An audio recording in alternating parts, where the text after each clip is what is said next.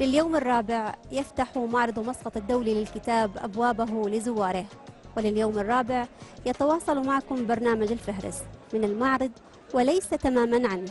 فالطريقة الأمثل للتعرف على المعرض بزيارته والتجول بين دور النشر وأروقته.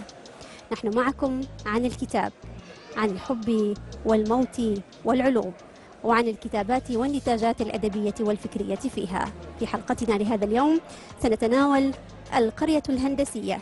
كيف بسطت العلوم والتكنولوجيا للقراء؟ عائشة السيفية تحدثنا عن ديوانها أحلام البنت العاشرة. ولدينا وقفة مع الروائي سعود السنعوسي وروايته فئران أمي حصة. كما أننا سنتوقف مع الكتب والمخطوطات وكتاب شمس البيان في الأحكام والأديان. تابعونا.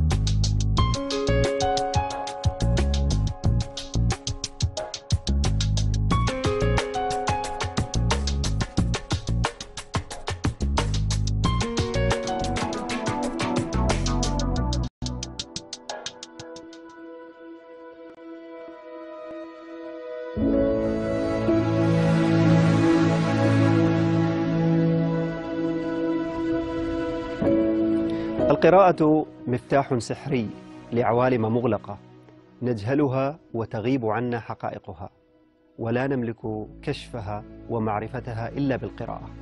بحق هي مفتاح سحري للحياة. عند التفكير في هذا الكون الشاسع بكل خفاياه وتفاصيله المذهلة التي لا نعرف عنها إلا النزر اليسير كيف سنعرف تفاصيلها بدون القراءة؟ بدون هذا المفتاح السحري للكون وللحياة.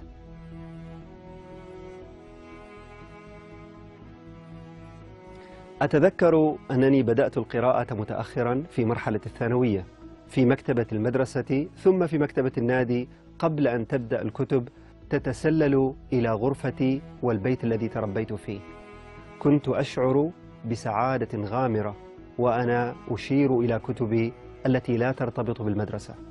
أشعر بالاختلاف الذي يمنحني إياه الكتاب ولأن تلك الكتب التي كنت أملكها في تلك الفترة قليلة كنت وثيق الصلة بها. القراءة مشروع كلما بدأ مبكرا أزهر وأينع ثمارا ونضجا في الشخصية ولأن القراءة مشروع فهي تحتاج إلى خطط وتصميم ومثابرة وجهاد مع النفس حتى تقتنع بجدوى هذا المشروع. يخلق بعضنا مقبل على مشروع القراءة فيبدع فيه ويحتاج البعض الآخر أن يكتسب المهارات اللازمة ليحقق نجاح هذا المشروع. للأسف في المقابل يعزف البعض عن القراءة لأسباب وأعذار واهية وهم بذلك يفتقدون إلى متعة مهمة لكشف العالم والكون من خلال القراءة. يحتاج الأبناء اليوم إلى أن يبدأوا مشروع القراءة مبكرا لكي يدركوا حقيقة القراءة وفوائدها ولكي يكتشفوا ما يمكن اكتشافه من هذا الكون الفسيح.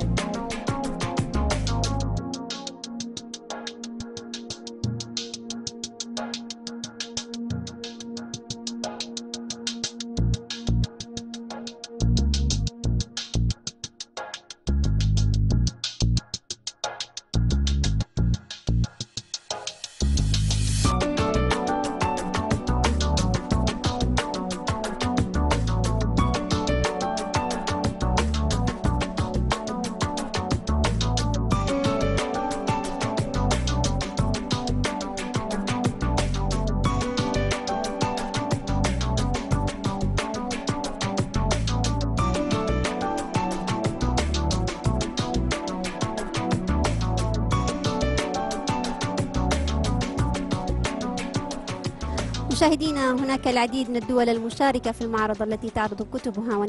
كتبها ونتاجاتها. الزميل محمد المهري عودنا أن يأخذنا في جولة يومية لهذه لدور النشر وهذه الأجنحة. اليوم هو في جناح سوريا.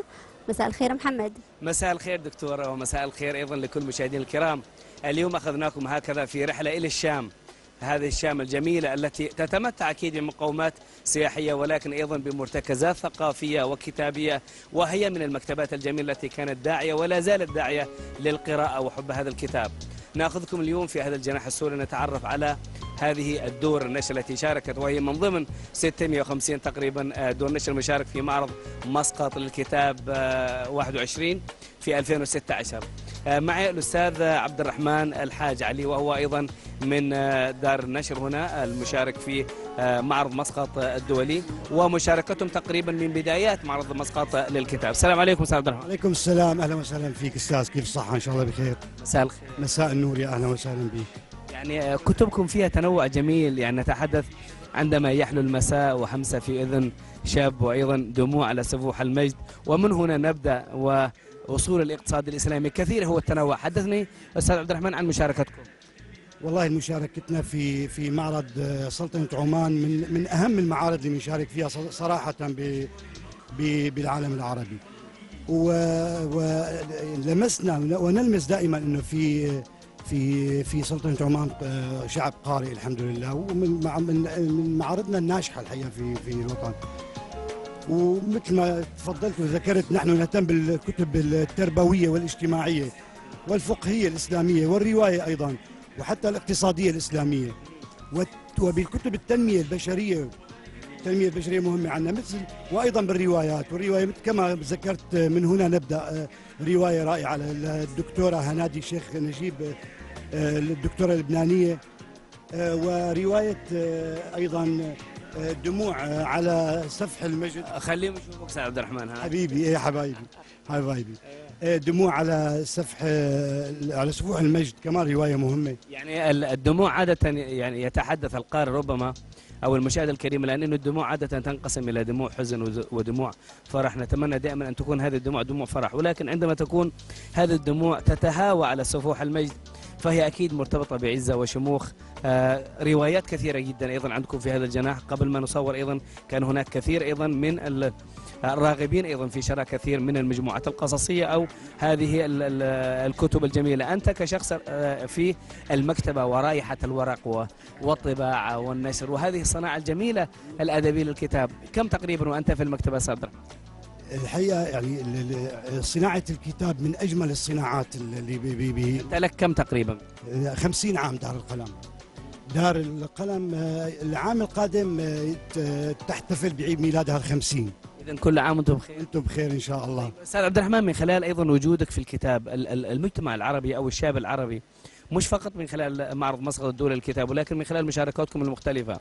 هل آه، ربما عندنا نحن اليوم سؤال موجود أيضا في التويتر على حساب برنامج الفهرس. هل زاحمت ال- ال- القراءة التقنية أو التواصل اللوحي أو ربما نقول هذا التصفح الإلكتروني الكتاب ولا لا زالت الأمور هكذا تتراوح بين التعادل وربما أحيانا آه، تبقى هي رغبة خاصة أو هوايات خاصة عند الناس؟ نعم نعم. آه، أول ما ظهر ال- ال- التواصل الاجتماعي واليوتيوب وال- والجوجل وكذا قالوا أنه الكتاب سينقرض. ولكنه سيبقى. إنه باق وباق وسيبقى أكثر. والآن آه، آه، نجد آه، نسبة القراء أكثر يعني من من من من من السابق الحقيقة يعني. خاصة أنا اللي بلمست بسلطنه عمان أطفال تقرأ. هذا هذا ما وجدناه. يعني بهالكميه والكثرة هذه بغابات الحمد لله يمكن نحن عندنا الآن ينتظر. آه، أطفال وفي تشجيع كمان آه، من الدولة الكريمة للأطفال عبد الرحمن ماذا تقرأ أنت؟ والله أنا أقرأ ب لا، الآن كنت بقرأ بالرواية بديت فيها رواية دموع على سفح المجد. أنا أقرأ مثلا في قلوب تهوى العطاء. هذه سلسلة الاستاذ حسان شمسي باشا سلسلة كاملة من عندما يحلو المساء وقلوب تهوى العطاء وهمسة في أذن شاب أكيد هي هي منوعات يعني أكيد هي منوعات يعني كثير.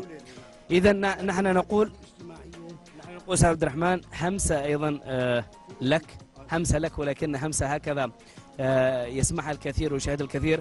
همسة شكر وتقدير و آه، يعني تقدير جاد لهذه الدور الذي تقوم به هذه الدور النشر آه، من سوريا الحبيبة للمشاركة في معرض مسقط آه، الدولي للكتاب في نسخته الحادي والعشرين. ونقول أيضا آه، لكل من يتابعنا نتمنى أن تكون قلوبكم دائما تهوى العطاء. شكرا عبد الرحمن. الله أنا بحب بحب أشكر آه، س- سلطنة عمان وأسأل الله أن تبقى منارة للعلم للعلم والمعرفة و- والثقافة وتبقى رأية خفاقة بإذن الله. والشام كمان تبقى آه، في عطائها في صناعة الكتاب والعلم. شكرا أستاذ عبد الرحمن. شكرا جزيلا لكم. أعزائي المشاهدين هكذا آه، لازلنا معكم في الفهرس ولكن مباشرة إلى زاوية أخرى وهي أستوديو الفهرس والزميلة الدكتورة.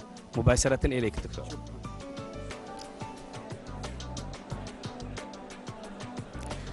مشاهدينا موضوع العلوم دائما ينظر إليه على أنه موضوع معقد وصعب. كيف يمكن أن نحبب العلوم ونبسطها للنشء هذا موضوع حديثنا اليوم وعن القرية الهندسية. معنا الفاضل فهد بن سعيد السيابي. مرحبا بك فهد الرئيس التنفيذي للقرية الهندسية. مرحبا بك فهد. آه، بسم الله الرحمن الرحيم والصلاة والسلام على سيدنا محمد وعلى آله وصحبه أجمعين. مرحبا فيك دكتورة ومرحبا بجميع ال- المشاهدين ال- الأكارم. حياكم الله. يعني القرية الهندسية واضح أنه عنوانها في مجال يختص بالعلوم فما هي بالضبط القرية الهندسية؟ آه، مؤسسة القرية الهندسية مؤسسة عمانية عربية آم، تأسست في 2011 آه، من الاسم مثل ما قلتي هي تخصصها في المجال الهندسي بحيث أنها تصنع فارق في في المجتمع العماني ومن ثم العربي ومن ثم العالمي في مجال اللي هو الهندسة. في الإلكترونيات وال- والبرمجة.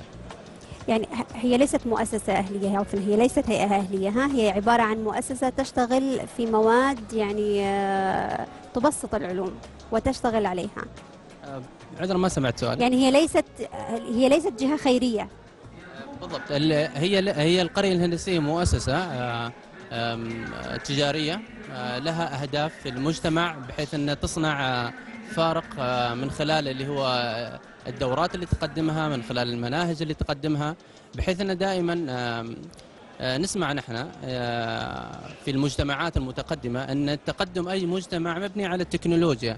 ومبني على أن ما ينتجه أي أي أي مجتمع آه، من تقنية. فلو حللنا عن عن المجتمعات العربية وما أضافته في في مجال التكنولوجيا العالمية راح تكون المعادلة بسيطة جدا جدا. فالقرية الهندسية من 2011 انطلقت في في مجال تدريب الكوادر مثل. ما مثلها اللي هي الدول المتقدمة الصناعية مم. فألفت مؤلفات في البرمجة مم. بحيث إن هي آه، تصنع فارق دائما إحنا مقولة يعني اشتغالكم في الكتب سننتقل للكتب بالتفاصيل لكن بالضبط. اشتغالكم في الكتب فقط أم لديكم يعني أعمال أخرى في تقومون عندنا بها عدة خدمات نفسها يعني مثلا الأشياء اللي اشتغلنا عليها آه، الدورات التدريبية أيضا اشتغلنا على تأليف الكتب مم. أيضا اشتغلنا على مثلا آه، في الأمور الصناعية مهم. أنتجنا مثلا في شهر ثمانية آه، أول مبرمجة عربية اسمها بي 4 كي. اللي هي تساعد الطلبة ال- الناشئة. على أساس أن ال- البرامج اللي موجودة في الكمبيوتر يتحكموا فيها بالقطع الإلكترونية كمقاسات حرارة إلى آخره. في هذا الجانب إذا دعنا ننتقل إلى موضوع الكتب وأنا أجد لديك كتب ليس فقط. بعناوين مختلفة ولكن بألوان جذابة بالضبط واحدة من ضمن الأشياء اللي تسعى لها القرية الهندسية أن تحول آه، آه، كثير من من المواد اللي هي البرمجية آه، طلبة الجامعات والكليات متعقدين أو أن مثلا آه، لهم ذكريات آه، آه، مش مش طيبة. فالقرية الهندسية أخذت آه، كيف ممكن أن العلم يكون بحاجة ممتعة مسلية.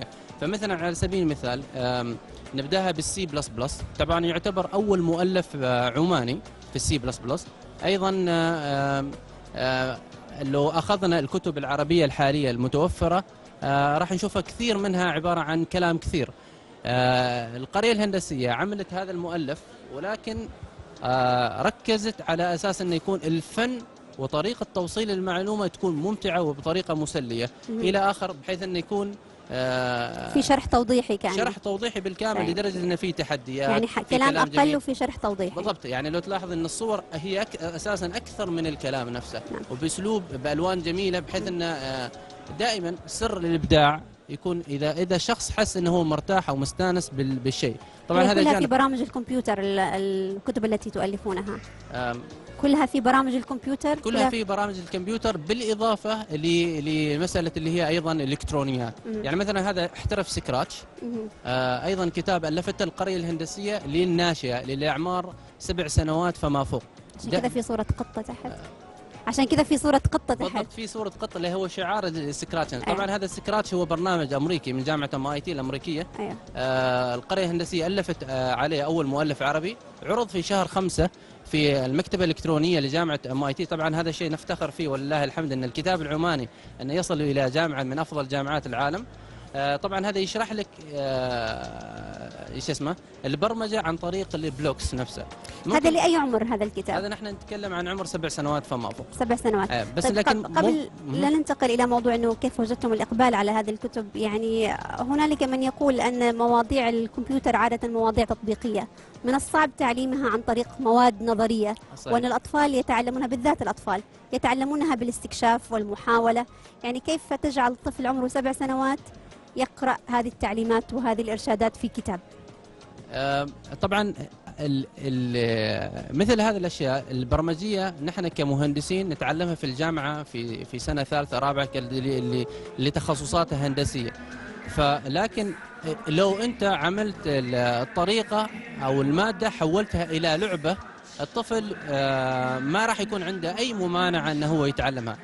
خلونا إحنا نضرب آه، مثلا مثال على اليوم. آه، أطفالنا آه، لما يمسكوا التليفونات معاهم في في طريقة استخدامها في أشياء نحن ما على بالنا وما عندنا فكرة عنها موجودة في تليفوناتنا من تقنيات فالقريه الهندسية أخذت هذه المبادرة اللي هي تدريب وتدريس ونشر ثقافة البرمجة في المجتمع. ليش؟ علشان ان يكون المجتمع العماني من أفضل المجتمعات العمانية ومن ثم أيضا نتجه الاتجاه إلى المجتمعات العربية اللي منتجة أيضا للتقنية والبرمجة. طيب ما فكرتوا أنه تنقلوها من موضوع كتاب كتاب إلى يعني طريقة أخرى وسيلة أخرى للتعريف بها بالذات للمرحلة المرحلة العمرية الصغيرة؟ في, في ال- الكتب آه، أغلبية الكتب القرية الهندسية آه، إذا ما كانت إذا كانت مثلا هي عبارة عن آه، يلها ارتباط ب مثلا بالإلكترونيات مثلا إن الطالب يتحكم بسيارة عن طريق البلوتوث مثلا على سبيل المثال. فلا بد منها يعني ولا كتاب من هذه الكتب عبارة عن آه، قصة أنت تقراها أو عبارة عن كلام أنت تقراه حتى الكتب مثلا السي بلس بلس هو هي برمجة فأنت تستخدمها لكن عب- عبارة عن كتاب تطبيقي عملي داخل الكمبيوتر. دائما المقولة تقال إن أفضل أنواع التعليم التعليم اللي صاحبه التطبيق نعم. فجميع مؤلفات القرية الهندسية اللي وصلت إلى الآن تقريبا أكثر من 14 مؤلف علمي تعتبر الوحيدة حاليا في عمان نفتخر بها بحيث إن آه، تقريبا ثلاثة منها تعتبر الأول عربيا طيب دعني أسألك سؤال يعني آه، أنه لتنقلنا لمستوى آخر في الشركة لهذه الكتب. آه، يعني بعض هذه المواد البعض يقول ممكن أن يجدها على اليوتيوب شرح مفصل آه، ويحكي له بالتفصيل وبالخطوات وبإمكانه أنه يعيد الشرح أكثر من مرة. كيف تختلف هذه الكتب عن الموضوعات والكتب الأخرى؟ عن الكتب الأخرى أو المواد الموجودة على يعني شبكة الإنترنت؟ آه، للعلم أن أيضا صحيح أنه في هناك في قنوات في في اليوتيوب تساعدك في عملية التعليم لكن يبقى أيضا الكتاب له له دور كبير في عملية التعليم اللي موجودة يعني نعم. فالكتب القرية الهندسية آه، آه، تتميز بخاصية إن فيها QR code إن ممكن عن طريق الهاتف ممكن أنت تحدد على صفحة معينة يوديك إلى إلى صفحة في اليوتيوب يعطيك التجربة عمليا آه يعني. هم الاثنين مع بعض. طبعا هذه التقنية نادرة موجودة في الكتب العربية القرية الهندسية بهذه الجودة بجودة عالمية هدفنا فيها أن نحن نمثل عمان من من الجانب العلمي آه، في في محافل عالمية بإذن الله. كيف وجدتم إقبال ال- الطلاب والأطفال على شراء هذه الكتب؟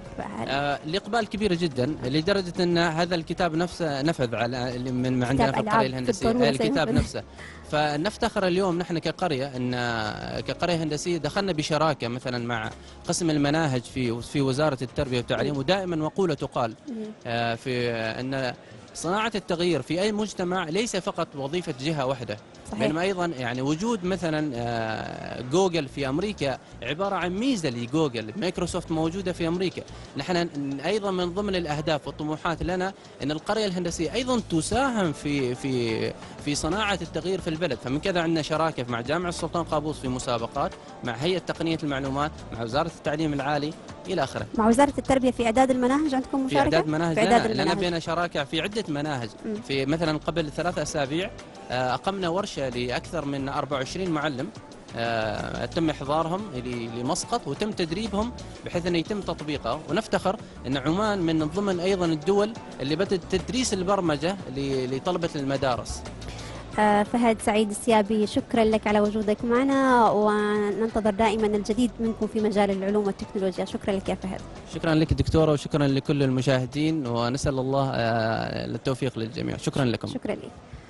مشاهدينا لازلنا متواصلين معكم وضمن فقراتنا لهذا اليوم. هذه الإطلالة إلى مكان خارج حدود مسقط لنتعرف على حي سان جيرمان في باريس وحركته الثقافية.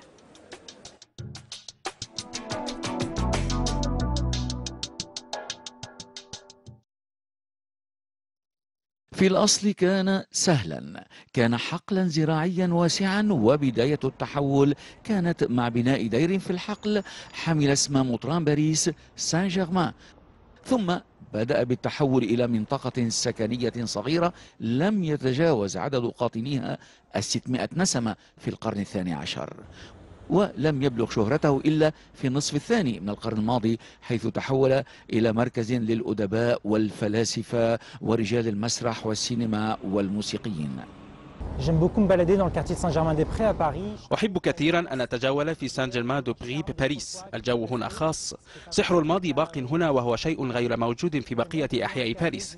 أحب كثيرا أن أكون في المقهى الذي هو خلفي الدوماغو أو الدوفلور هكذا أستشعر روح المثقفين الكبار الذين كانوا يأتون إلى هذا المكان من أمثال جان بول سارتر وسيمون دو بوفوار والسينمائي الآخر الطليعي فرانسوا تروفو. أيضا العديد من الصحفيين ورجال السياسة كانوا يزورون هذا المكان.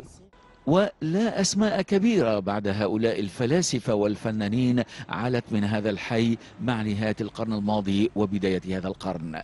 استكانت أجواء مقاهي هذا الحي من صخب وعمق النقاشات الفكرية لكبار المثقفين وتفتحت أبوابها بديكورات تحمل إيحاءات الفخامة للقاءات الراحة التقليدية للطبقة الوسطى وما علاها بقليل بشكل عام. سان جيرمان كانت في الأساس وقبل كل شيء آخر الكتب والثقافة وهي اليوم محلات ألبسة وبنوك. سان جيرمان فقدت روحها تلك. صحيح يوجد الآن أيضا المجوهرات لكن بالنسبة إلي ليست هذه سان جيرمان سان جيرمان دي براي تبقى بالنسبة إلي الحنين إلى جولييت غريكو. أنها التاريخ بعد الحرب العالمية الثانية. بالنسبة إلي هذه هي سان جيرمان أما ما أراه اليوم الزينة البراقة. لكن يسعدنا دائما أن نكون في هذا المكان. تحول آخر مهم وراء تبدل حال حي سان جيرمان يتعلق بالوضع الديموغرافي للحي فقد خلت بيوت كثيرة في مباني الحي من السكان لتتحول إلى مكاتب شركات ومؤسسات متعددة Globalement, bah maintenant, c'est surtout des. Déjà, il n'y a pas d'enfants. سان جيرمان هي اليوم من دون أطفال قصدت أن لا عائلات تسكنها هي اليوم بين ما يمكن وصفه بجاليري المحلات التجارية والتحف المثقفون الطليعيون أصبحوا من الماضي. حتى طلاب جامعة الصوبون القريبة من هنا لا يأتون إلى الحي. لا لا لا يسعدني هذا أبدا. المتمسكون بالصفة الثقافية التي عرف في هذا الحي متفائلون دوما ويرون أن غياب إذاعة صيت كبار أسماء المثقفين من الحي لا يعني حقيقة غيابهم عنه. Ça, ça, ça reste encore, ça reste encore, parce que dans le quartier, il y a beaucoup, de, il y a beaucoup aussi d'écrivains, mais les, لا في هذا الحي الكثير من الأدباء لكن المجتمع تطور. نحن اليوم في عصر الهاتف الذكي ولوحات الكتابة الإلكترونية. الانفتاح على العالم بات عبر طرق أخرى. بالتأكيد هناك مثقفون جدد في عالمنا لا شيء يموت. سيكون هناك رسامون ومثقفون. أعتقد بأننا لا نعرفهم بعد. Voici l'éternité. De Saint-Germain-des-Prés. Il n'y a plus d'après à Saint-Germain-des-Prés. Plus d'après-demain.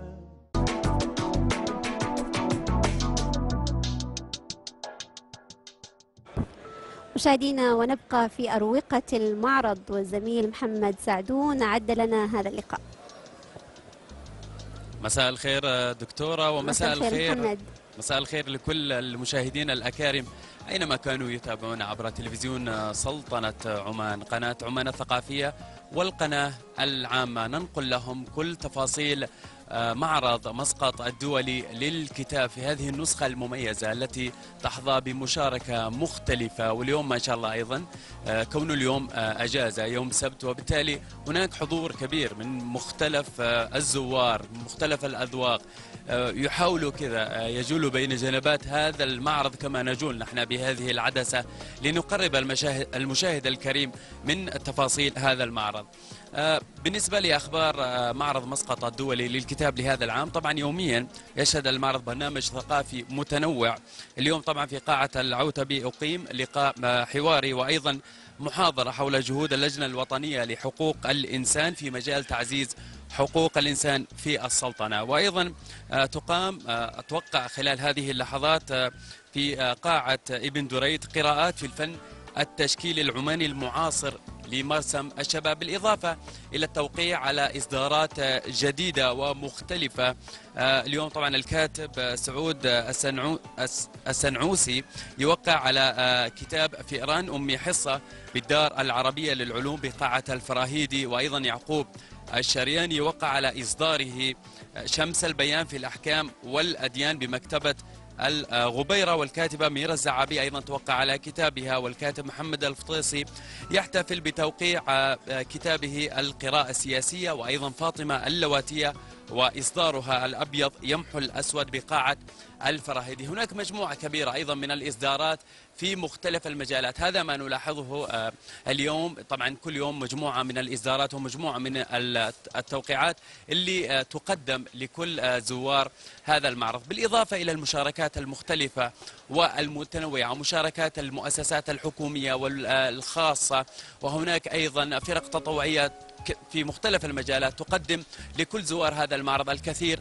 من الخدمات. من ضمن هذه آه، ال- المشاركات برامج مبتكرة آه، يستطيع من خلالها المكفوف القراءة.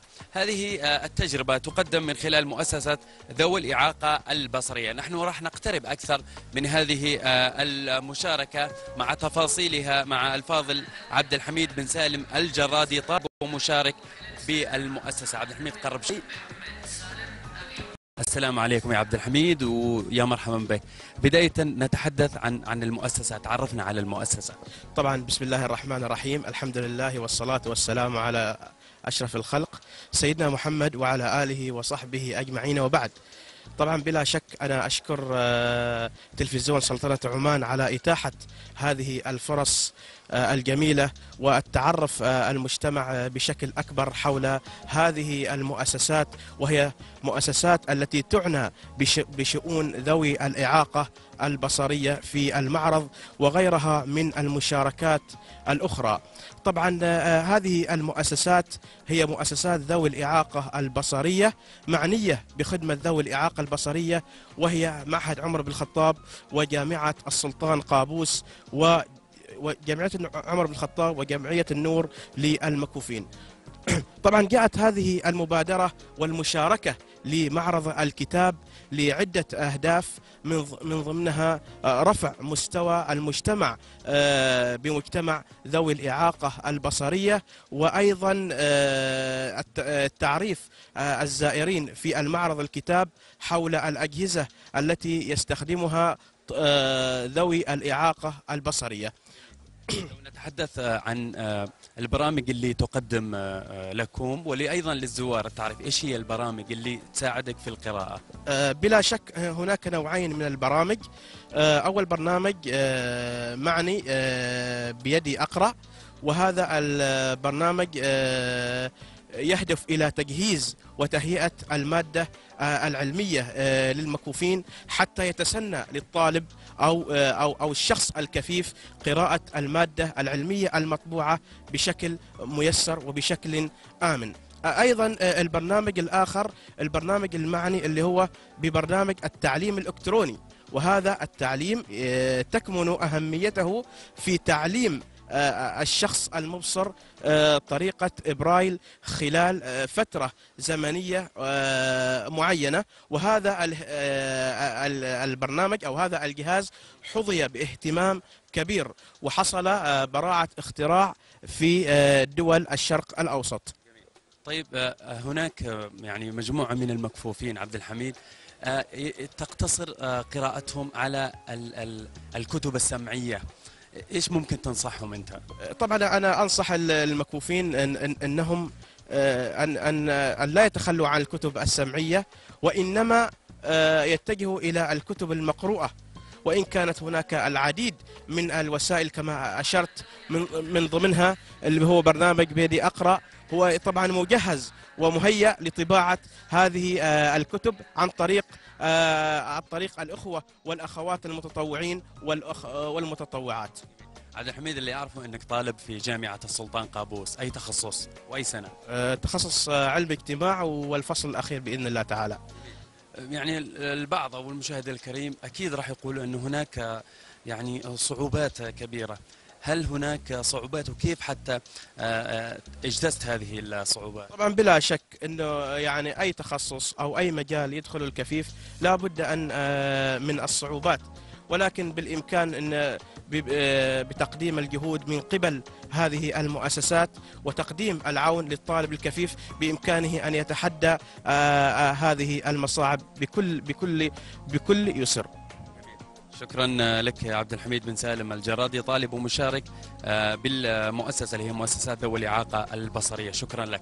يعطيك العافية. شكرا علي قعبوب. يعطيكم العافية على هذه الجهود. آه، أيضا هناك آه، فقرات مختلفة ومتنوعة. عبد الحميد خير مثال. نتمنى أنه كل مستمع لكل مستمعينا عبر الأثير أو لكل من يشاهدنا عبر تلفزيون سلطنة عمان أن يأخذوا من هذه الفكرة للتقدم آه، نحو الأمام ونحو المستقبل آه، الأفضل. فقرات برنامج الفهرس مستمره وهناك آه، فقرات مختلفة ولقاءات حوارية مختلفة في برنامج الفهرس فابقوا معنا. ألوان من الطبيعة في يوم ربيعي مشمس خرجت مريم مع أخيها خالد وقطهما المدلل مشمش للتنزه في الغابة القريبة من بيتهما. شاهدا منظرا طبيعيا خلابا. كانت الأزهار زاهية الألوان. هنا برتقالي وهنا أحمر وهناك أخضر. أما الأشجار فهي أخضر خضراء نظرة.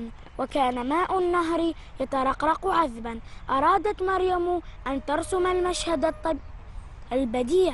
لكن لم يكن لديها الألوان ولا الفراش ولا ورقة للرسم. فكر خالد وفكر ثم قال عصارة أوراق شجرة التفاح تعطينا اللون الأخضر وبدلات زهور النرجس للون الأصفر وشقائق النعمان تعطينا اللون الأحمر. قالت مريم إنها فكرة رائعة واللون البنفسجي من زهرة التوليب الزرقاء وهذه الوردة الحمراء مع بعض قطرات من ماء النهر ثم أشار مشمس إلى صخرة مسطحة يستطيعون الرسم عليها. قالت مريم يا لك من قط فطين يا مشمس. حرك القط ذيله فرحا. بدأوا بالرسم على الصخرة. رسمت مريم الزهور والأشجار ورسم خالد السماء الزرقاء. وبينما هم يرسمون إذا بقطرات المطر تسقط فأسرعوا بالعودة إلى البيت.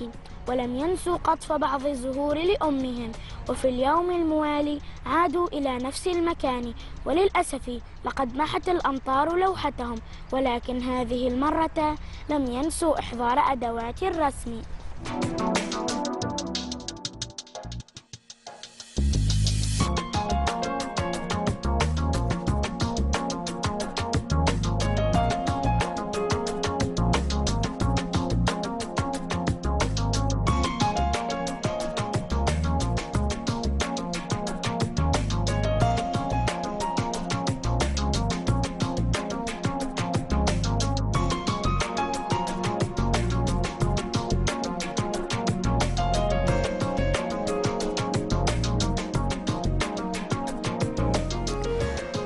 مشاهدينا وعن صعوبات تحقيق المخطوطات. يحدثنا الفاضل يعقوب بن هلال الشرياني آه، صاحب كتاب أو عفوا الذي حقق كتاب شمس البيان في الأحكام والأديان. مث- مرحبا بك معنا يا يعقوب. أهلا وسهلا كيف حالك؟ طيبين؟ يا أهلا وسهلا فيك.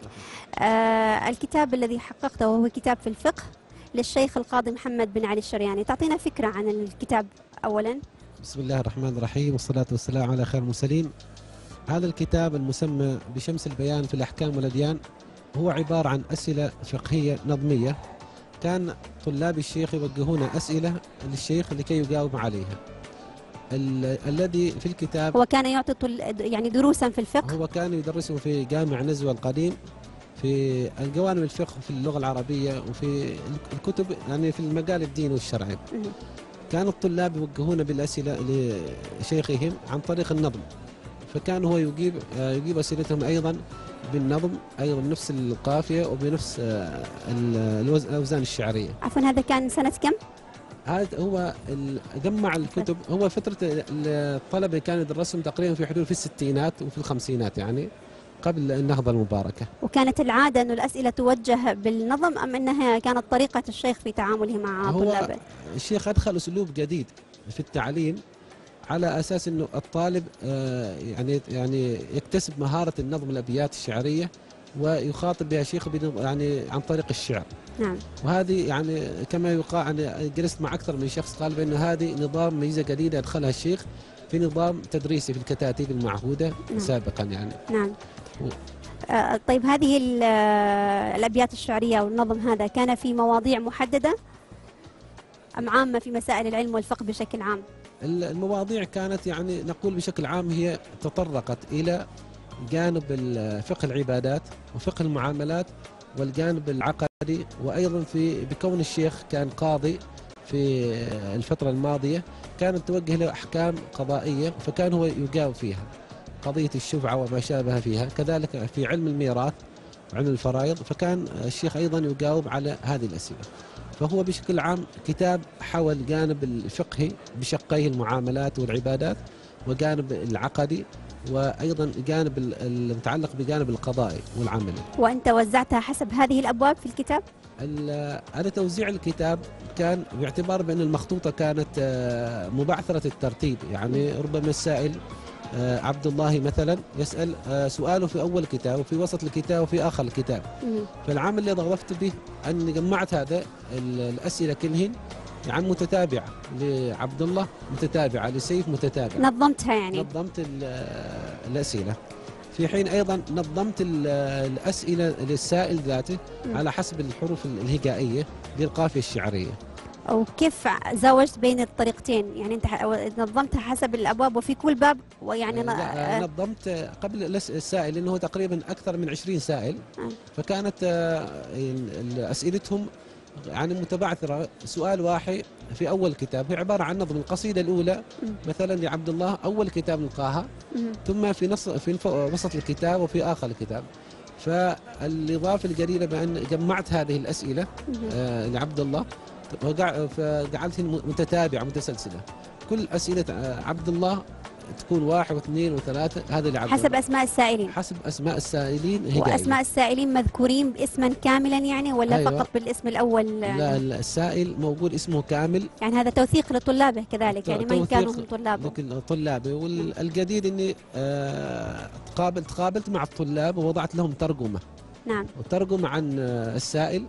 وصورة شخصية له على أساس بأنه الشخص آه، السائل معروف. معروف يكون أنت و- يعني آه، آه، عرفت به في الكتاب أيضا. عرفت به بالكتاب وهذا يعتبر حقه لأنه هو أثرى فترة زمنية أثرى جانب علمي ونشاط فكري جديد. جميل رائع. طيب دعني أسألك عن التحقيق المخطوطات الصعوبات التي واجهتها غير أنه الكتاب يعني المخطوطة كانت مبعثرة. يعني ما الصعوبات الأخرى في المادة الموضوعة في المخطوطة والتأكد من صحتها؟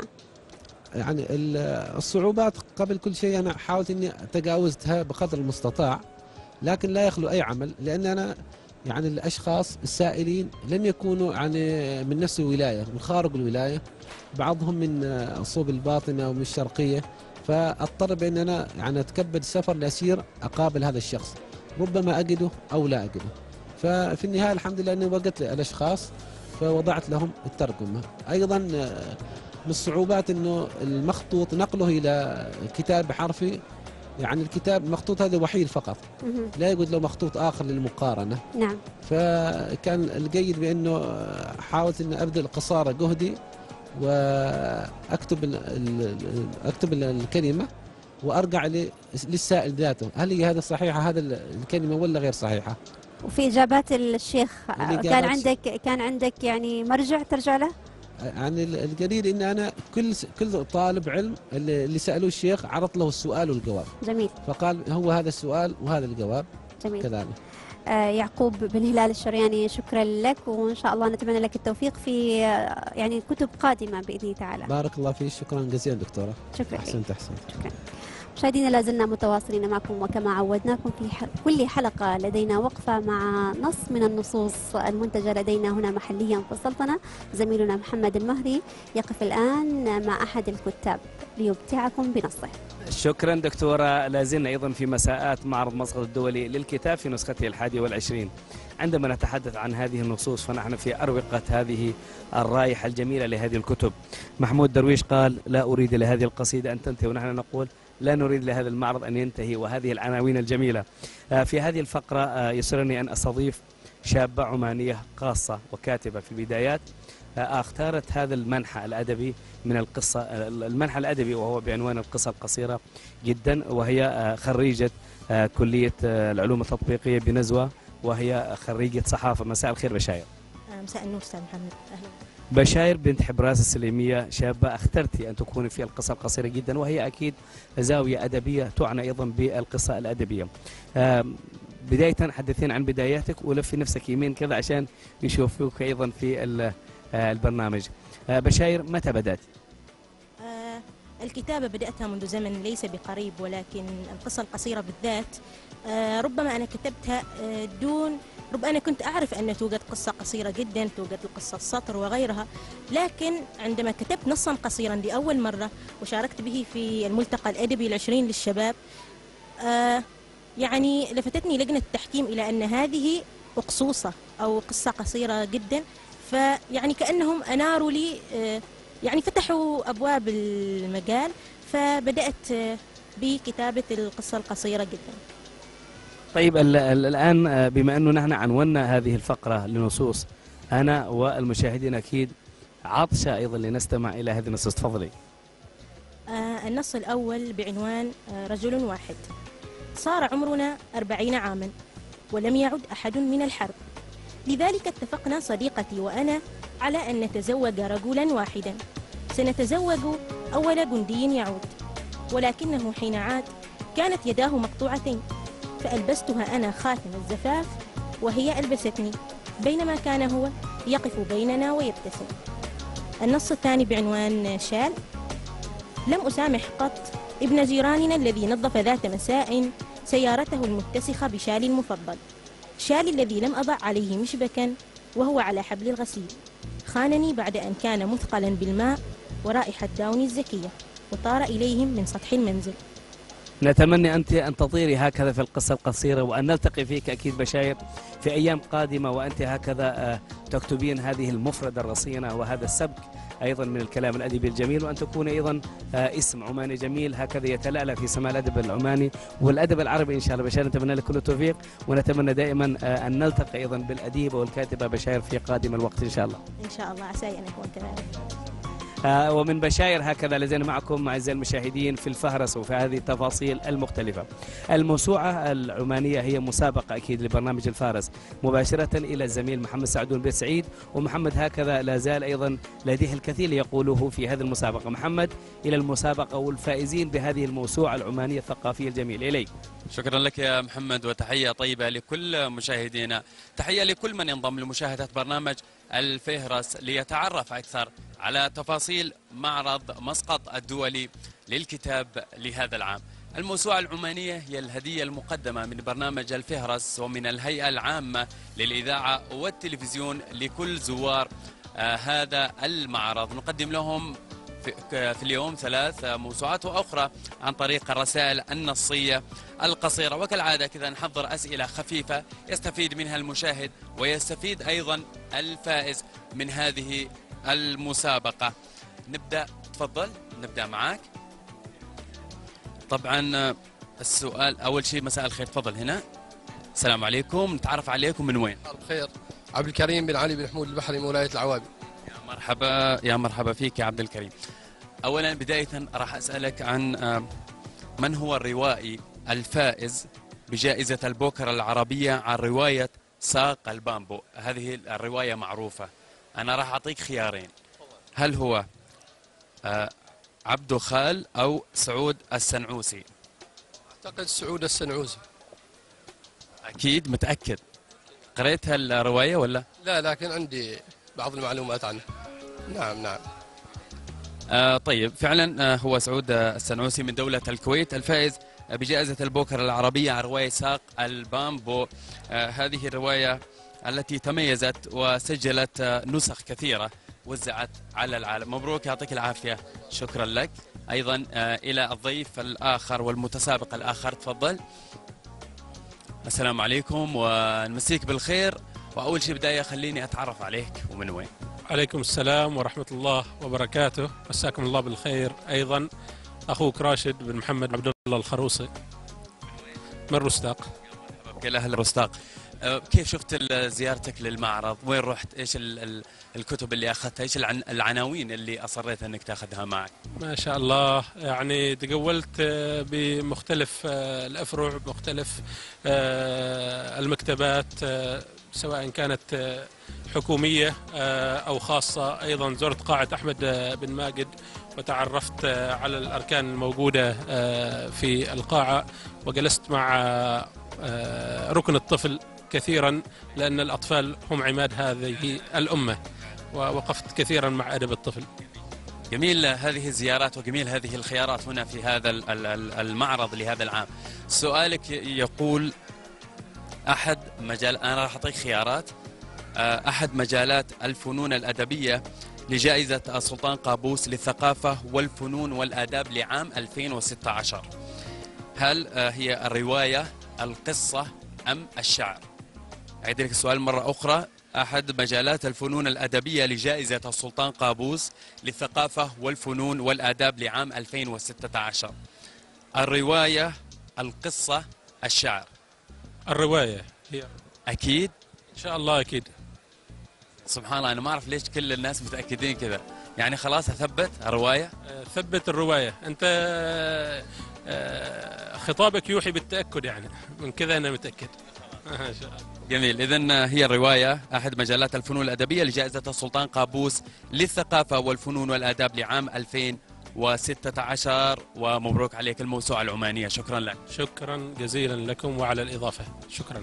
يعطيك العافية. إذا إذا هذا هو آه، الهدف من هذه المسابقة آه، إهداءات آه، الموسوعة العمانية. هذا المرجع ال- العماني هذا المرجع ليحتوي الكثير من الأبواب وكثير من المجالات ليتعرف عليها العماني وأيضا لكل الزوار. جميل أنه الواحد يقتني أيضا الموسوعة العمانية إذا ما لاحظ يفوز معنا يقتني هذه الموسوعة من ركن الموسوعة العمانية هنا بكل يوم متواجدون هم وأيضا نحن نقدم الموسوعة العمانية بشكل يومي لكل زوار هذا المعرض. وأيضا لكل مشاهدينا عبر تلفزيون سلطنة عمان ما عليهم إلا أن يرسلوا عبر الأرقام اللي راح تظهر عليهم بعد البرنامج وجواب على السؤال فقرات برنامج الفهرس مستمرة ولكن بعد الفاصل.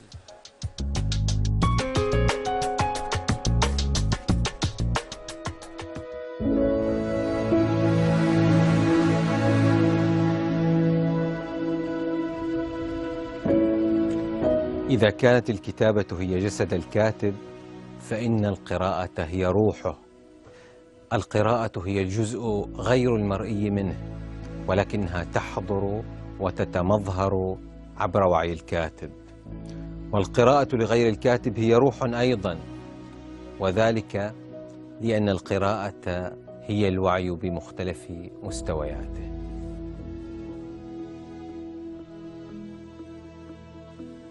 بدأت القراءة منذ بدأت الحياة لأن الحياة كتاب بيولوجيا بدأت القراءة مبكرا جدا في الطفولة وما زلت أقرأ لكي تستمر جمرة المعرفة مشتعلة في الروح. أقرأ لكي لا يتوقف عقلي عن النمو. القراءة هي الوعي. القراءة هي مصباح البصيرة لكي ترى الأمس واليوم والغد. أقرأ لكي أكون أقرب إلى تخوم التجربة الإنسانية. وذلك لأن الكتاب يمنحك فرصة الاتصال بأقصى ما يبدعه البشر في كل زمان ومكان.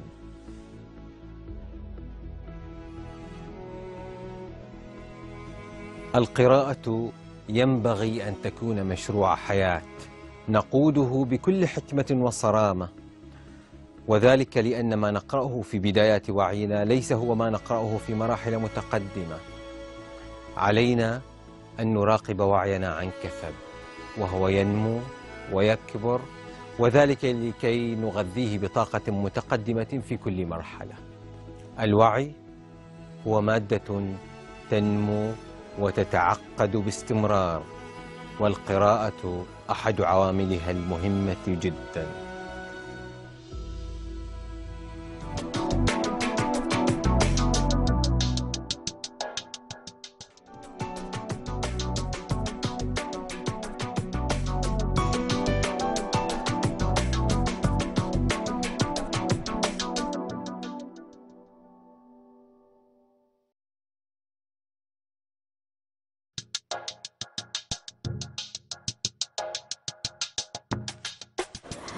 مشاهدينا ضيفنا التالي ضيف مميز. لا زال في عقده الثالث وقد أخرج ثلاث روايات. إحداها وهي الرواية الثانية ساق البامبو فازت بجائزة البوكا العربية وكان أصغر روائي عربي يفوز بها. وفي عام 2015 وقع روايته الثالثة والتي وصفت بالرواية الاستشرافية فئران أمي حصة. ضيفنا لهذا اليوم الروائي سعود السنوسي. مرحبا بك. معنا يا سعود. يعني زخم جميل وثلاث روايات آه، ورا بعض اثنان منها حققا نجاحا جماهيريا. الحمد لله الحمد لله. سعيد بذلك أكيد يعني في آه، تجربتي المتواضعة وفي سني الصغيرة جدا. آه، أني ألقى هذا القبول هو لا شك أمر كبير جدا بالنسبة لي يعني. والحمد لله وأتمنى يعني أني أني أستمر وأني أكون على قدر ثقة القارئ يعني. نعم من إقبال القراء واضح أن لك جماهيرية كبيرة وأنك تشتغل على مواضيع تشدهم دعنا نبدأ بمو... بالموضوعات التي تناولتها يعني في كلا الروايتين نعم. سواء رواية ساق البامبو أو روايتك الأخيرة أنت اشتغلت على قضايا كبرى نعم. اجتماعية وسياسية نعم. تجري في في نعم. الكويت أو نعم. تهم الكويت نعم. تحديدا آه، في ساق البامبو طرحت موضوع الهوية وفي روايتك الأخيرة طرحت موضوع الطائفية م. هل يحاول الروائي تسليط الضوء أم تغيير الواقع؟ ال- ال- السؤال إني أنا أكتب بالدرجة الأولى عن ما يشغلني آه لذلك ربما ارتبط إن سعود آه، السنعوسي يكتب الأدب ما يسمى الأدب الملتزم أو الأدب ال- المرتبط بقضايا يعني ولا أكتب يعني لا, ولا أستخدم الفن لأجل الفن ربما في وقت لاحق حين أشعر بأني قلت ما لدي أو ما يقلقني أو أو الأسئلة التي تقلقني يعني ربما أتجه إلى مكان آخر آه، في في ساق البامبو تحدث عن الهوية عن عن علاقتنا بالآخر في فئران أم حصة بشكل أو بآخر أيضا هوية الط- نعم. يعني الطو... بالنهايه الطوائف جزء من تشكل جزء من التكوين الثقافي وهوية وهي. هوية المجتمع فعلا بالضبط فعلا. في في في ساق البامبو علاقتنا بالآخر في فئران أم حصة علاقتنا بنا نعم. على على على حيز أضيق. يعني وإن بدت الرواية إنها محلية جدا كويتية إلا أن ممكن تعكسين على أي دولة صحيح عربية. وهذا ما قد قيل عنها أن موضوعها أصلا لا يخص الكويت وحدها. بالضبط صحيح. هو موضوع صحيح، ينتشر في صحيح، كل العالم صحيح العربي مكانيا. يجري في الكويت. نعم. صحيح. فأتصور انه إنه أغلب مشاكلنا بسبب الهوية الهوية المختلفة وال- والآخر. وكيف ننظر إلى الآخر؟ الآخر اللي منا وفينا والآخر البعيد. كيف ننظر إلى أنفسنا ونفهمها؟ أنفسنا بالضبط بالضبط. أتصور أغلب مشاكلنا إن لم تكن كل مشاكلنا لهذا السبب. نعم. دعنا نقف عند هذه النقطة. وكيف ننظر إلى أنفسنا في روايتك ساق البامبو؟ وأنا أوجه لك هذا السؤال لأن هنالك من قال بأنك متشائم في نهاياتك. يعني بطل الرواية عندما كان يتابع المباراة ووقف عند موضوع التعادل وقال أنا تعادلت نعم. الآن ورضى بهذه النتيجة على أنها تعادل بين فريقين هما نعم. فريق الفلبين وفريق نعم. الكويت. نعم. لكنه تعادل وهمي في النهاية لأنه التعادل لم يحدث لم يحصل. منتخب الكويت الوطني هو في النهاية. نعم. لكن هو وقف عنده يعني هو تخيل أنه هذه هي النهاية هذا نعم. هذا الواقع الذي أريده. نعم. وإذا أسقطنا ذلك على حالة البطل في آه، صراعه بين هويتين. هو لم يستطع أن أن يعني ينتمي لإحداهما دون الأخرى. دون الأخرى. حتى حتى نهاية الرواية نقول ولا نقول حتى نهاية الراوي. هو هو زي لا يزال حيا فلنقل لا ندري ربما تغلب ربما عاد إلى الكويت. نهاية الرواية هو أراد أن يحقق شيء من من هذا التعادل. يعني هو وجد نفسه حينما يعني سجل منتخب الكويت هدفا بأنه سعيد وحزين من أجل الفلبين. وحين سجل المنتخب الفلبيني هدفا أيضا سعيد وحزين من أجل الفلبين وحزين من أجل الكويت. أغلق التلف... التلفاز. الأمر ليس لأنه متشائم لأنه يريد أن يقف عند نقطة يشعر فيها بسلام. يشعر فيها بسلام. بسلام نفسي. إلى ذا أمر آخر أنه هناك أمر فني في الرواية. أنا لا أريد أن تنتهي الرواية في فوز منتخب الكويت الوطني أو فوز كفة على كفة أخرى كأنني أوجه القارئ إلى نهاية معينة. فأنت يا قارئ ابحث من الذي فاز بالفعل فهي مباراة حقيقية يعني أنا لم أبت- أبتدعها. اكتفيت بأنه عند التعادل وقبل أن تنتهي المباراة لم يعد يتابع. نعم. نعم. لا هي نتيجة المباراة لحظتها لم تكن مهمة. المهم كان الصراع الذي يدور بالضبط في ال- بالضبط, بالضبط. هي في- في- تمثل تمثل الصراع. هو زي صحيح. إذا ننتقل إلى روايتك الثانية الثالثة وليست نعم. الثانية. الثالثة فئران أمي حصة. حصة نعم. وفئران أمي حصة. تناولت موضوع الطائفية وأنت ربطتها بامتداد تاريخي أو واقع. جعلت لها واقعا لم يكن واقعا أساسا. نعم. اللي هو يعني آه، استمدتها من عمل تلفزيوني. نعم نعم. آه، واستلهمت شخصية موجودة فيه شخصية آه، فؤادة. فؤادة. نعم. المفترض أنها كانت في مستشفى للمجانين وكانت تهذي صحيح. وتحذر من الفئران القادمة. صحيح.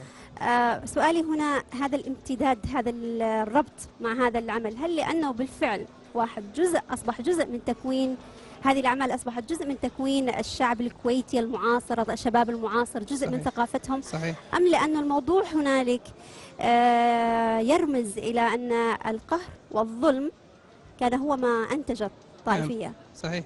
كلاهما طبعا. اولا لأنه لأنه هذه الشخصية مؤثرة بشكل أو بآخر ليس في الكويت بل في الخليج. مسلسل على الدنيا السلام أو محظوظه مبروكه صحيح. كما نعرفها كنا يعني. متابعين له هنا. كنا متابعين في الخليج بالفعل. نعم. آه الأمر الآخر أنه يخدمني.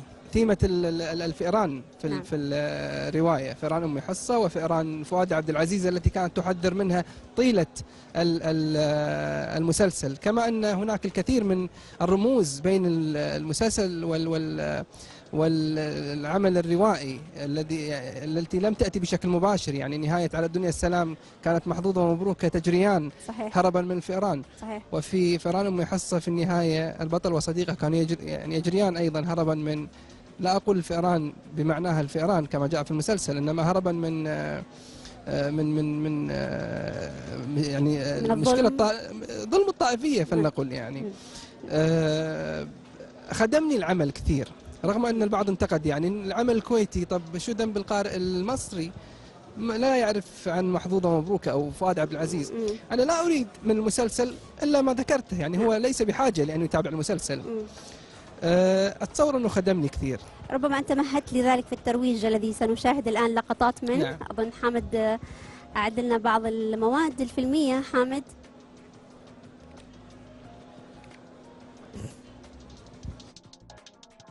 إخوة مسلمون التم شملنا.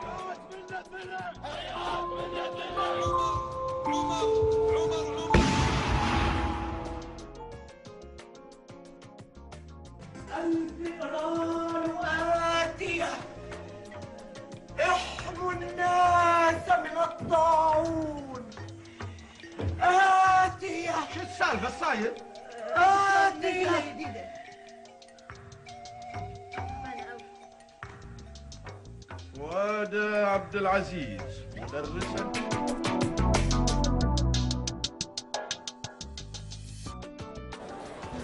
إذا هذا الترويج الذي استخدم للترويج لل... لل...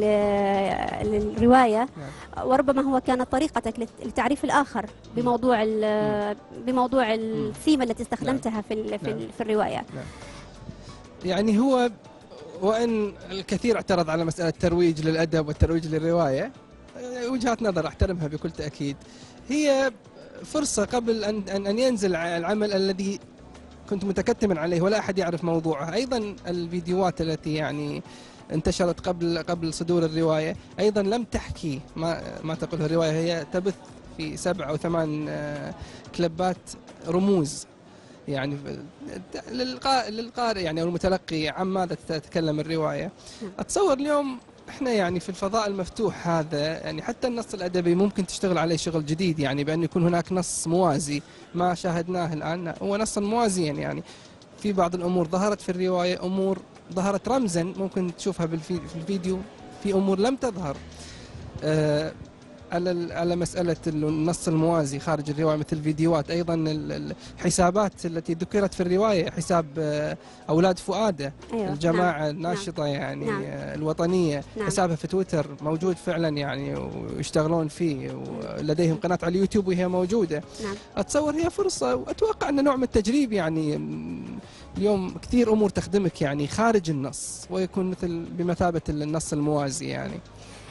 سعود رغم الاحتفاء بالرواية من قبل النقاد ورغم الجماهيرية التي لاقتها ويعني الناس أقبلوا عليها إلا أن هنالك نقاد كانت لهم وجهة نظر بأن الرواية آه، سطحت موضوع الطائفية لأنه تناولت العديد من المواضيع حرب الخليج وسياقات تاريخية مختلفة.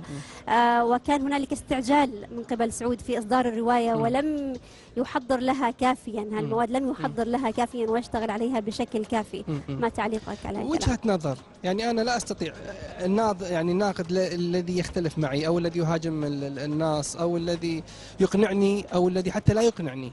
الذي حتى أشعر أنه يتجنى على النص لا أستطيع أن يعني أن أحمل عليه. يعني بالنهاية رجل أو, امرأة يعني ناقد أو ناقدة اشترى هذه الرواية 440 صفحة وتجشم عناء قراءتها أحترم هذا الأمر. لكن أختلف معاه يعني مسألة آه، الذي إذا إذا في إذا في ناقد قال إني استعجلت يعني رواية عملت فيها تقريبا ثلاث سنوات إلا شهرين أو ثلاث شهور. نعم. مسألة لما أقول ذكرت فيها الغزو وذكرت فيها تفجيرات آه، المقاهي الشعبية وتذكر وذكرت فيها آه، ال- ال- ال- الحرب الإيرانية العراقية. إذا كان موضوع الرواية عن الطائفية فيجب لا ان يمكن فصله عن هذه السياقات. كيف وصلنا إلى هنا؟ نعم من 79 آه، الثورة الخمينية ضد الشاه ثم الحرب الإيرانية العراقية. كيف إحنا تغيرنا ككويتيين؟ صرنا ننظر إلى هذا الشيعي وهذا السني ثم الغزو العراقي ثم آه، آه، حرب حسن نصر الله على على إسرائيل في 2006 وكيف نسينا في هذه الفترة شيعي وسني وك- كل الناس يعني أصبحت آه، تشيد في في هذه العمليات. يجب هذه الأمور أن تذكر هي ليست مقحمة. نعم. هي يعني في نوع من ال ال الوحدة الموضوعية. الاستعجال يعني يا ريت إنه إنه كان في نقد واضح. استعجلت لأنه أنت قلت كذا ولا ينبغي أن تقول. هي أغلب الكلام كان في العموميات. يعني لذلك لذلك أنا اشعر إنه ما عندي رد لأنه لم آخذ شيء واضح حتى نعم. أرد عليه نعم على كل يعني في النهاية العمل قابل للقراءة بعدة آه، طرق يعني طبعا نعم. يعني هذا هذا أفضل ما قيل نعم. بأنه أنا أتفق تماما مع مع الروائي الكبير اورهان باموق حين يقول انه إنه العمل الادبي يستمد قيمته من آه، اختلاف الآراء آه، ال- الآراء يعني بين الناقد وال- والكاتب نعم. والقارئ أيضا نعم ما فائدة عمل يعني الكل يمدحه أو ويتفق عمل الكل عليه. يذم فيه يعني بس لما تشوفين هذا التلقي الحالة الغريبة بين مع ناس فرحانة بالعمل وناس منزعجة جدا من العمل وتراه أنه عمل سيء جدا نعم. هذه حالة صحية بشكل أو نعم بآخر جميل سعود السنوسي سنعوسي عفوا. شكرا لوجودك معنا. بودنا أن نستبقيك أكثر لكن نريد أن نعطيك فرصة لتتجول أيضا في مسقط قليلا. شكرا لك. الله يخليكم. سعيد بوجودي في مسقط وأتمنى أن تتكرر زياراتي وشكرا لحفاوتكم ويعني آه، أنا سعيد جدا. هذا بلدك الثاني. الله شكرا يخليكم الله يخليكم. شكرا. مشاهدينا لازلنا متواصلين معكم مع فقرات برنامجنا لهذا اليوم ومن الرواية ننتقل إلى المكتبات الافتراضية بهذا التقرير.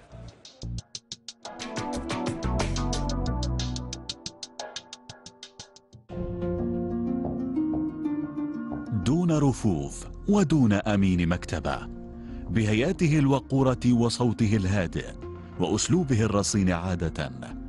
تمتد المكتبات الافتراضية الإلكترونية عبر الفضاء الواسع للإنترنت مشرعة ابوابا أوسع للمعرفة. أعتقد أنه الوقت قد حان لتأسيس مكتبة افتراضية آه، مختصة بال- بالواقع المحلي العماني. ولكن ماذا يعني أن تكون لدينا مكتبة افتراضية؟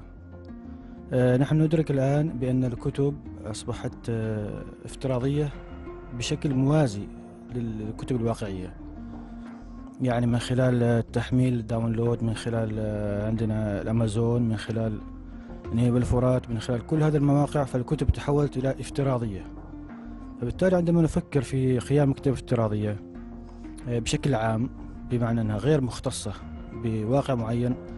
آه، معناته أن نقول أن هناك منافسين كثر. وأن نقول هؤلاء المنافسين يستخدمون تقنيات كثيرة وتقنيات مختلفة. وأيضا لهم بال- بالمقابل لهم آه، متابعين كثر. لكن عندما نقول بأننا أمام مكتبة افتراضية مخصصة للواقع المحلي فهنا نقول بأننا آه، ننشر المعرفة. المعرفة المحلية على نطاق أوسع. نحن في عمان نعاني من الشح في الحقيقة. آه، شح المكتبات آه، اللي هي المكتبات البوك شوب آه، بعيدا عن المكتبات اللي هي سواء في الجامعة الأكبر أو المعرفة أو مكتبة الجامعة. هذه مكتبات تبقى يعني نخبوية أو لو حد محدودة إلى حد ما. لكن عندما نؤسس مكتبة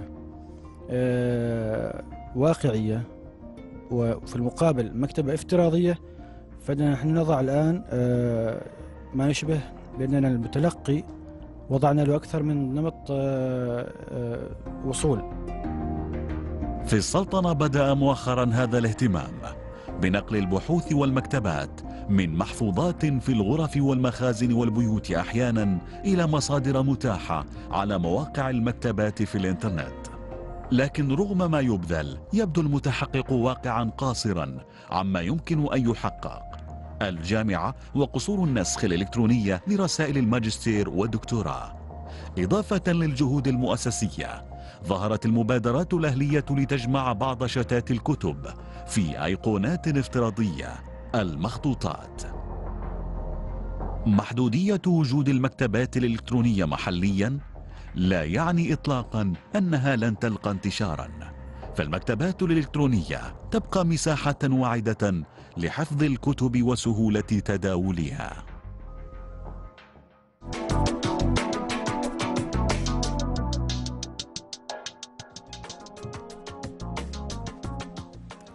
مشاهدينا متواصلين معكم ونبقى الآن مع فقرة الأسئلة الموجهة للجمهور والزميل محمد المهري. شكرا دكتورة أعزائي المشاهدين وهكذا في آه، هكذا ما تبقى من برنامجكم الفارس نأخذكم مباشرة إلى المسابقة وسؤال اليوم. ما هو البرنامج الذي يعنى بتفاصيل معرض مسقط الكتاب في نسخته الواحد والعشرين من خلال هذا العام؟ هل هو الفهرس أم المحتوى أم القلم؟ ضيفي هو آه، المتسابق محمد العزري خريج كلية العلوم الشرعية. السلام عليكم محمد. السلام ورحمة الله وبركاته. محمد سؤالنا سهل جدا.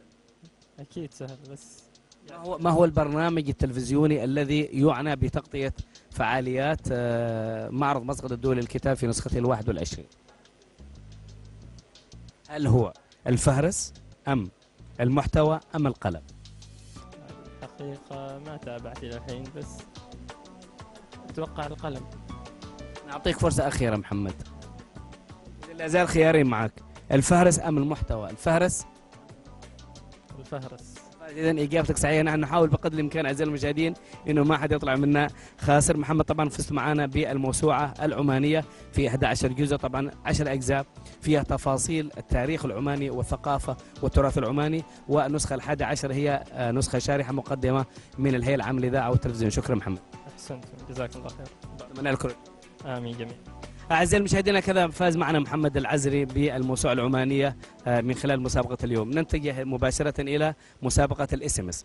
السؤال كان آه، ما اسم الكتاب الذي كان في أصول الشريعة وفروعها الذي ألفه أبو جابر محمد بن جعفر الإزكوي. عنوان الكتاب فقط هو الإجابة الصحيحة كانت الجامع لابن جعفر. آه، مباشرة إلى رقم الفائز. الرقم تسعة خمسة ستة خمسة خمسة. اثنين ثمانية ستة نعيد. إذا صاحب الرقم هو آه، تسعة خمسة. ستة خمسة خمسة. اثنين ثمانية ستة. إذا الفائز فاز معنا بالموسوعة العمانية مقدم من الهيئة العامة للإذاعة والتلفزيون من خلال برنامج الفهرس. نتمنى دائما كل التوفيق لكل المشاهدين الذين تابعونا في الفارس مباشرة إلى ختام الحلقة. والزميلة الدكتورة لميا إليك الكلمة. ميا. شكرا لك آه، يا محمد. آه، شكرا لك ونتواصل مشاهدينا مع فقراتنا ضيفتنا الأخيرة لهذا اليوم هي أجمل ما يمكن أن نختم به حلقتنا. عرفتها الساحة الشعرية منذ كانت طالبة في سنواتها الأولى بالجامعة. وصفت بأنها تفيض بالجمال والثقافة. ووصف شعرها بأنه ينبض موسيقى رغم حزنه. مرحبا بك معنا عايشة السيفي. يا أهلا وسهلا فيك. المايك المايك فضلك مساء الخير دكتورة وسعيدي سعيدة بلقاء اليوم معك. آه، عايشة رغم أنك أنت في البداية كنت متحفظة ومترددة في موضوع النشر وأخذت وقتا إلى أن يعني نشرتي آه، لكن آه، بين البحر يبدل القمصانة وإصدارك الثاني الآن أحلام البنت العاشرة. نرى أنك واصلتي المسألة واصلتي موضوع النشر فهل اقتنعتي أخيرا؟ آه الإصدار الثاني يبدو أقل وطأة نوعا ما. الإصدار الأول كان تجربة مرعبة بالنسبة لي. أنا كنت لا أنام يعني لا أنام ليالي. وأنا أنتظر خروج ال- ال- الكتاب إلى النور وكنت متوجسة جدا آه، عندما يعني كنت أفكر كيف سوف يستقبل القراء ال- المجموعة الأولى. بينما المجموعة الثانية كانت نوعا ما أقل وطأة وكنت أشعر أنه لدي مساحات في الاشتغال عليها فمن 2000 وهي كانت جاهزة من 2014 وشعرت أنه يعني أخذت وقتي في مسألة أنه آه، إحراق بعض النصوص إضافة بعض النصوص آه، الاشتغال على نصوص أخرى لحد تقريبا قبل أسبوع من من آه، طباعة المجموعة أنا كنت أغير فيها هنا وهناك. فكانت الم- المسألة أيضا بالنسبة لي مقلقة جدا ولكنها كانت بالتأكيد أقل وطأة من المجموعة الأولى. نعم.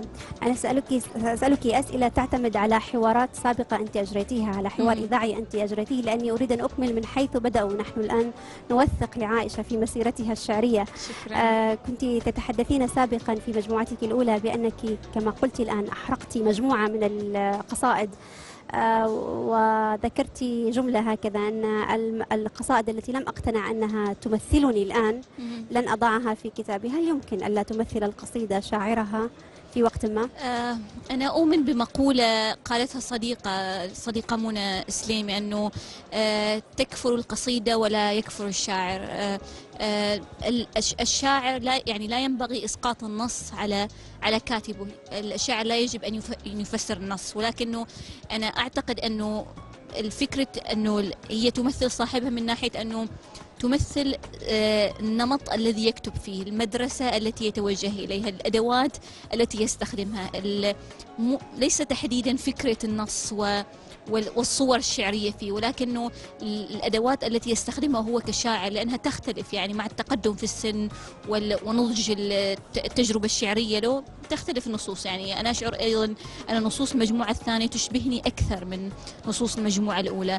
هنالك نصوص في المجموعة الأولى الآن لو سألتيني أقول لك غير مقتنعة بوضعها في ذلك الكتاب. بينما كانت في فترة من الفترات مقنعة تماما وكنت أشعر أمامها بحب شديد كنت أشعر بحب شديد تجاه نصي بينما فقدت هذا الحب لاحقا. ال- هذا هذا طبعا شيء طبيعي أعتقد مع فكرة تغي- تغير مسارات الحياة ومس- ومسارات ال- الكتابة التي يتبناها الشاعر. دعيني إذا نلقي الضوء قليلا على أحلام البنت العاشرة وأنت أيضا في هذا الديوان. كما في الديوان السابق قررت أن تضعي العنوان من آه، عناوين القصائد أحد القصائد الموجودة في الكتاب. فلماذا عنوان أحلام البنت العاشرة؟ آه، أحلام البنت العاشرة لأنه أنا ترتيبي في في العائلة العاشرة أنا البنت العاشرة لوالدي وأما أحلامي فلن أسرف في الحديث عنها سوف أتركها لل... لل... للقارئ تحديدا. آه، لا يمكن أن أختم هذا اللقاء رغم أنهم يستعجلوني بدون نص منك يا عائشة. آه، سوف أقرأ نص آه، آه، الوحيدون. آه، النص هذا ترجم آه، قبل آه، فترة للألمانية آه، وسعدت باختياري جدا. فربما أعتقد أيضا آه، قد يروق ال- المستمع أيضا. الوحيدون لا يلتقون. سينشغلون بأقرب نوبة حزن تمر ويستسلمون لما كتبته الحياة لهم والتفاصيل والذكريات الصغيرة والآخرون. فلا هم وقوف على ضفة النهر أو عابرون ولا زاهدون إذا هاجمتهم صفات الكلام ولا مشتهون. عائشة السيفي هذه الأبيات هي أجمل ما يمكن أن نختم به أمسيتنا لهذا اليوم. شكرا لحضورك معنا.